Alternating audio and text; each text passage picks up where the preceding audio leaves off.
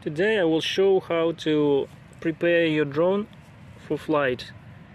According to the instructions, it is advised to carry out calibration procedures before you fly the drone to allow the drone to keep balance in the air and avoid drifting.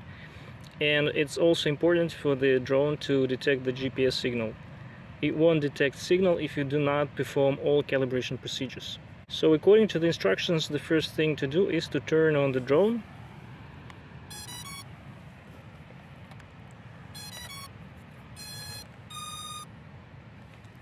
Then you need to turn on the remote control. After that you need to perform the gyroscope calibration or sometimes it's called factory calibration. The drone need to be on the plane surface. The gyroscope calibration is done by moving the sticks in this direction.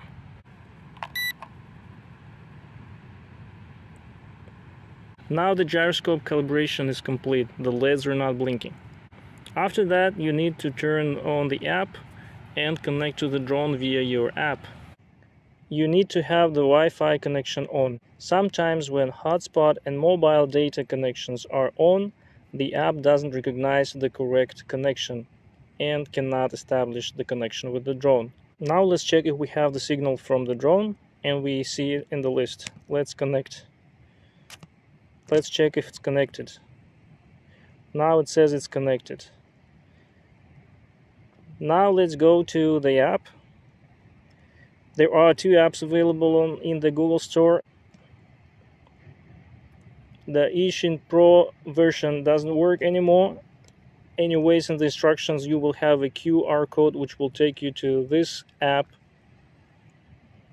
which is VS GPS Pro app. Let's turn it on. Now we see that the drone is recognized now we enter the device and we get the video transmission from the drone. In comparison to the previous models, this app is straightforward and you don't need to do manual calibration before you turn on the app. So it tells you to complete the next calibration steps, which are compass calibration. It will tell you how to do that. So on the picture it will tell you how to rotate, to rotate the drone. Let's rotate the drone now.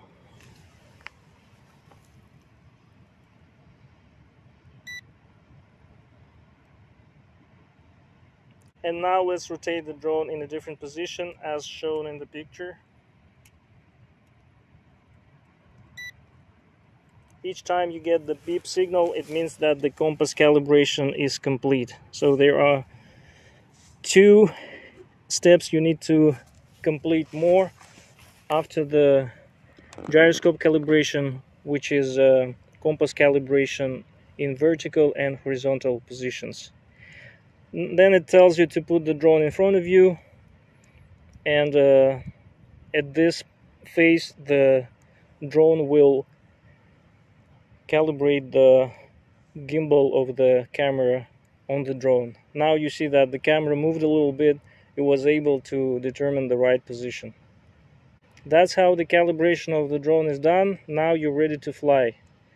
There are cases when you don't get GPS signal. Some people say that these models have problems with GPS.